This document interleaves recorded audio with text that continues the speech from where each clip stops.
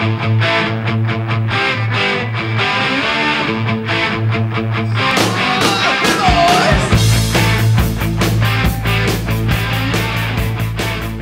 everyone, welcome to Two Twins in Eve. I am your host, The Lone Wolf, and today I'm having a look at the result from the CSM meeting in Iceland. Um, CCP and the CSM came out with a joint statement on uh, the EVE Online website and a video uh, on uh, CCP's channel with the Mittani. They confirmed that there were no plans to add non-vanity items to the NeX store and CCP has committed to re-add ship spinning in some form in the future, uh, probably to help uh, players with uh, lower PC specs to be still be able to run the game uh, as smoothly as before the Incarna launch. So there is no guarantee that they will never add uh, non-vanity items to the NeX store. But uh, if the CSM, after having seen the development plans for the NeX store, can uh, confirm that there are no plans at this point for non-vanity items. I guess that's uh, as much as we can ask for at this point. Um, this means that I resubbed using a, a, Plex and I will continue to use a Plex for as long as possible uh, to give CCP the chance to basically re-earn my trust. While I can understand that from a business point of view, CCP wants to keep its options open concerning the selling of non-vanity items in the NeX store.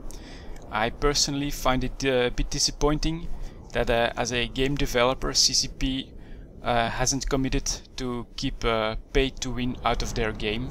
Um, I feel that maybe they have lost a bit of their vision concerning uh, the game, uh, that it would become a full-fledged space simulator in a sandbox world uh, where everything is uh, made by and for the players. Um, do they really see EVE Online as just uh, another game like all the others uh, that uh, only exists to make uh, their company money? Maybe, I don't know, that's why I resubbed using Plex and I will continue to do so for as long as possible. I mean, I've earned probably over a year worth of uh, Plex in ISK, so I can I can uh, postpone uh, judgment for uh, for some time.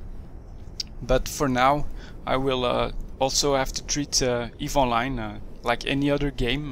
to be honest, before this entire debacle, I really thought Eve and CCP had a vision that I could share and that I could put money, time, and effort in to build a character in that world but now uh, it's uh, for now it's uh, just another game and it's going to be up to CCP to show that they still have a, a vision for EVE Online that uh, that I can follow and that I can uh, that is worth uh, my money basically so I will decide that depending on their actions not I will look at what they do not at what they say anyway that's my conclusion for this CSM meeting and uh, for the entire NeX debacle. Um, well, maybe you can even say Incarna debacle.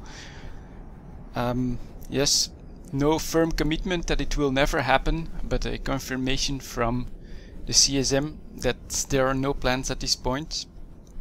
So we'll uh, we'll keep playing Eve. I'll keep making videos in Eve Online and uh, look at what CCP does. And uh, I hope I really hope that they can uh, reconfirm their vision for EVE Online and uh, make it the game that we all want it to be.